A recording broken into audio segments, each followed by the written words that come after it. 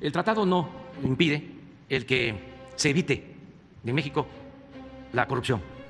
No hay nada que eh, tenga que ver con el proteger a empresas para abusar de los usuarios, de los eh, consumidores. Lo que prevalece pues es eh, un abuso, es eh, un robo de empresas a toda la población y al erario público. Son condiciones que eh, se crearon cuando el gobierno fue tomado por una banda de malhechores. Es un acto de corrupción.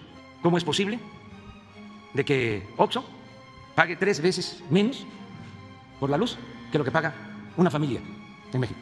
Entonces, la reforma que se está proponiendo es para que se corrija todo eso que se hizo de manera facciosa. Es una vergüenza que los medios de información actúen sin objetividad.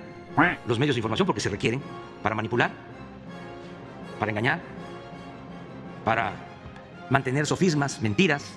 Luego se requieren también a los intelectuales para poder convertir en teoría toda esa retacería de mentiras.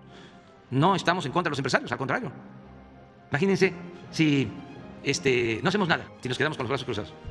La quiebra de la Comisión Federal de Electricidad. Y se apoderan por completo del mercado de la electricidad los de Iberdrola. ¿Cómo se va a desarrollar un país si la energía eléctrica es cara? ¿Cómo se desarrollan las industrias? Si los costos de energía eléctrica están por los cielos, ¿cómo competimos?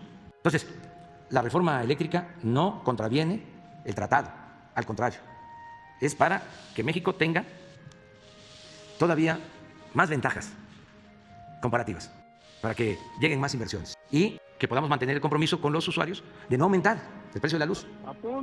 Se violó la Constitución porque se reformó una ley secundaria para entregar concesiones desde Salinas. Entonces, para eso es la reforma, decirle a la gente que tengan confianza, es para salvar a la Comisión Federal de Electricidad y para que no se padezca de apagones, de tarifas altas, para que se proteja la economía popular.